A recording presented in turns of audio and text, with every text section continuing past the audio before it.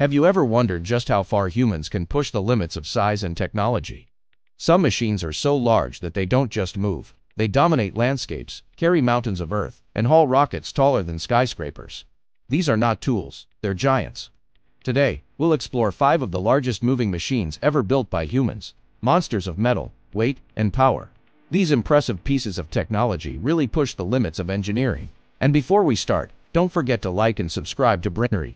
It helps the channel grow so we can keep bringing you the world's most fascinating stories.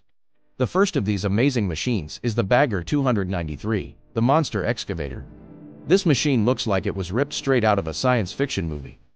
This heavy bucket wheel excavator is nearly 100 meters tall and 225 meters long. It gets the number one position as the largest land vehicle in the world. To give a perspective, it's taller than the Statue of Liberty and longer than two football fields placed end to end. The Bagger 293 was built in Germany by a company named TAKRAF.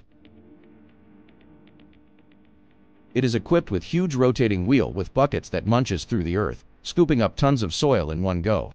This single machine can move an astonishing 240,000 cubic meters of earth per day. That's enough material to fill over 90 Olympic-sized swimming pools every single day.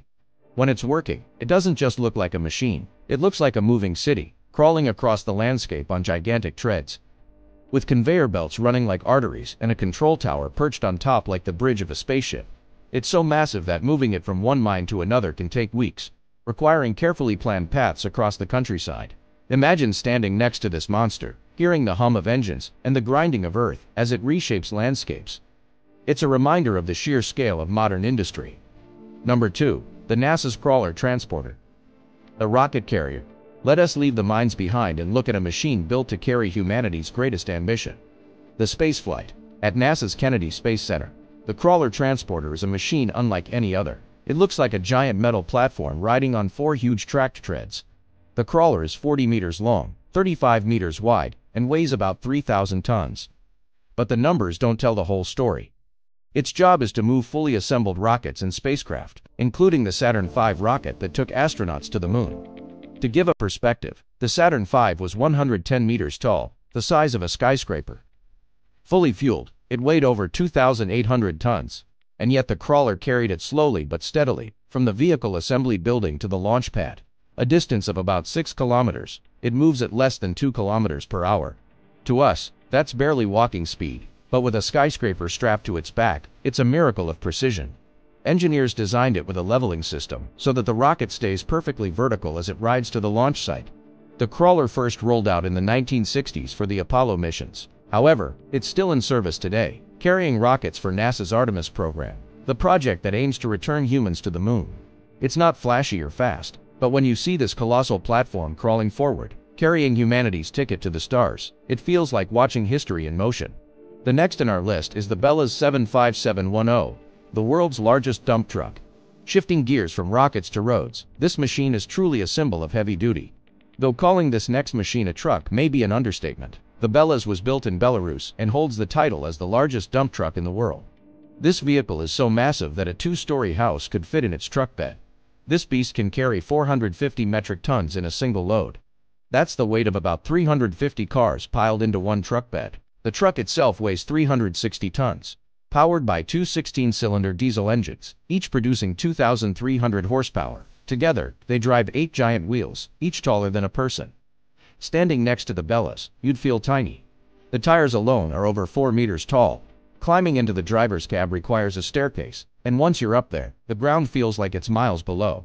The Belaz isn't built for highways, it lives in giant mines, hauling ore and rock. It's like a giant building rolling down the road.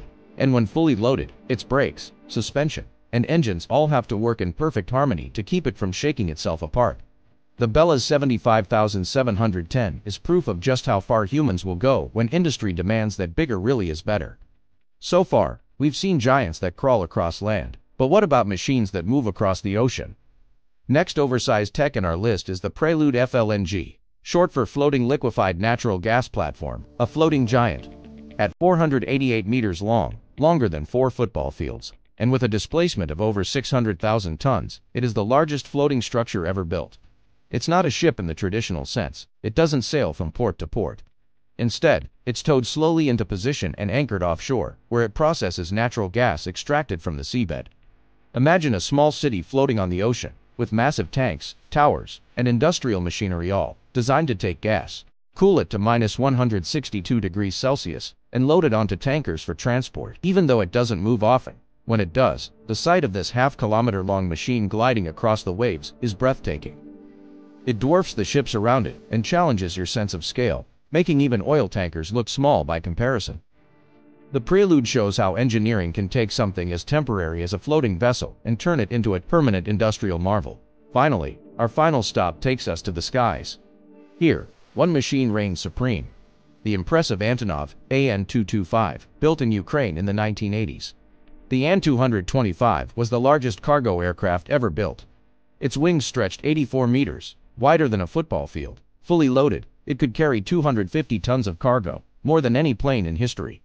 The Antonov 225 was originally designed to transport the Soviet Union's Buran space shuttle, and its cargo bay was so vast it could fit trains, industrial turbines, or even other airplanes. When it flew overhead, it didn't just sound like an aircraft, it sounded like a thunderstorm. Watching it take off, straining under the weight of a world record load, was like seeing the laws of physics stretch to their limits. Only one Antonov 225 was ever completed. Tragically, it was destroyed in 2022 during the conflict in Ukraine but its legacy as the ultimate flying machine remains unmatched. To this day, aviation fans and engineers alike remember it not just as a plane, but as a symbol of human ambition and ingenuity. So there you have it. Five of the largest moving machines ever built. From earth-digging giants, to rocket carriers, megatrucks, floating platforms, and flying legends. Which of these giants have you heard of? Let me know in the comments which one's your favorite. Share this video with someone who loves a large piece of tech and would enjoy learning about these incredible machines. And don't forget to like, share, and subscribe to Brainery for more hidden stories of the world's biggest and boldest creations.